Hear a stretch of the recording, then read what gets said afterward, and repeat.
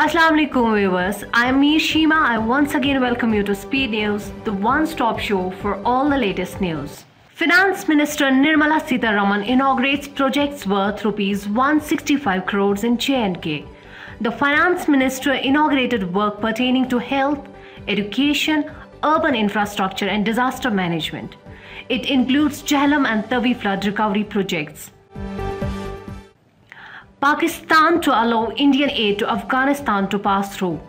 One month after India offered humanitarian assistance to Afghanistan, Pakistan's Prime Minister Imran Khan said his government would allow the aid to transit over the land route through Pakistan. India had protested the delay in Pakistan's permissions for the aid to be facilitated, including most recently at the 8th Nation Regional Security Dialogue on Afghanistan. Former Chief Minister and PDP Chief Mehbooba Mufti still under house arrest. Mehbooba said that she wanted to visit the families of deceased to offer condolences but was not allowed to step outside. Dr. Farooq Abdullah greets people on Urs of Sayyid Yaqub Sahab Rahmatullah. Kashmir's journalists have organized a blood donation camp at the Kashmir Press Club today Media persons are requested to be part of this camp, which is in memory of our colleagues whom we lost in the past few years. It would be great to hold this camp together and not under any single banner but as a collective of our fraternity.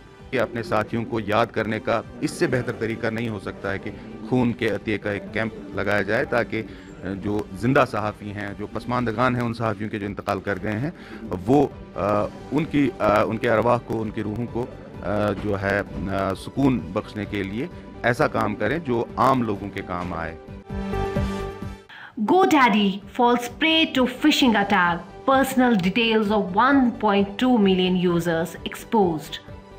In a massive case of data breach, GoDaddy claimed that up to 1.2 million active and inactive managed WordPress customers had their email addresses and customer numbers exposed.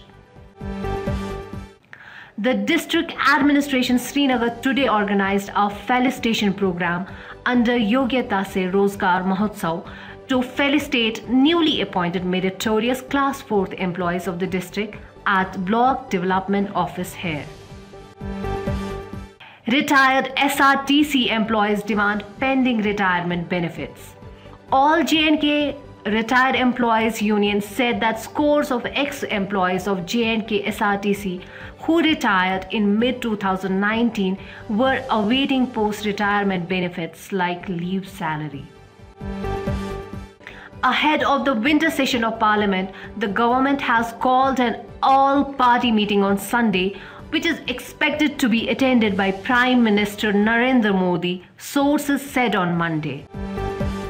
United Nations have criticized the arrest of a prominent activist in Kashmir on terror funding charges. Khurram Parvez was arrested late on Monday by, India's Federal National Investigation Agency.